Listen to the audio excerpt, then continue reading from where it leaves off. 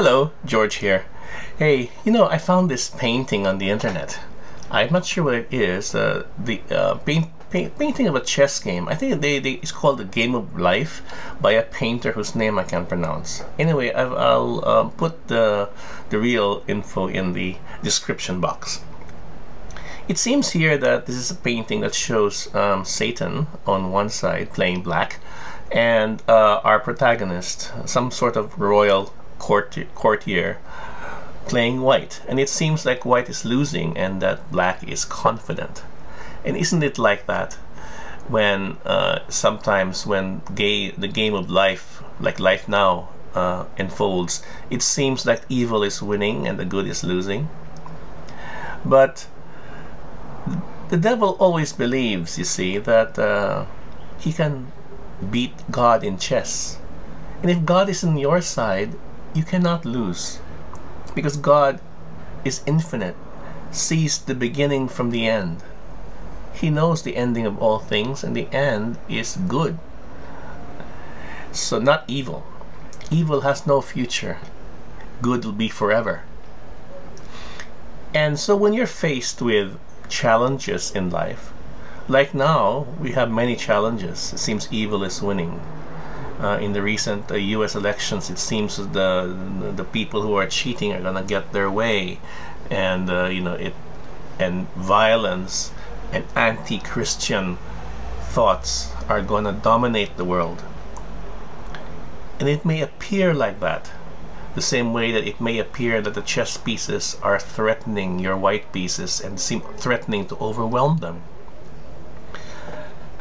But God always sees an infinite number of moves ahead, and for a God, He can never lose.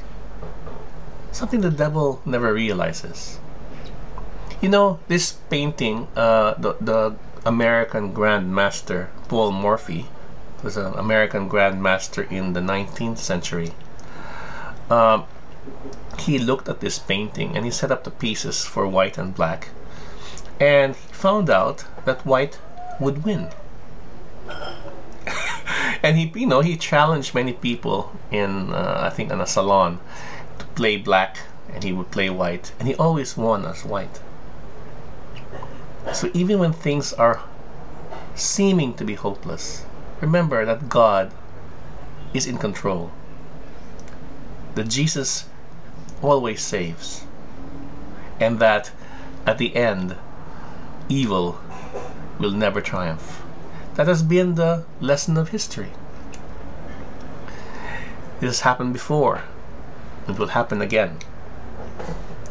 The times that we are living in are very extraordinary. Remember in 1917, Our Lady appeared in Fatima, in the apparition in Fatima, to three shepherd children in 1917. And we are a little over 100 years from that time. And she did say that her Immaculate Heart would triumph in the end.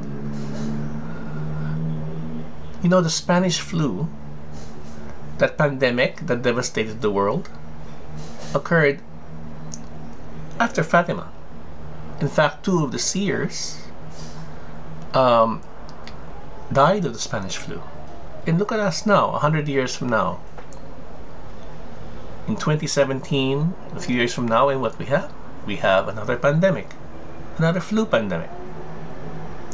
History seems to be rhyming.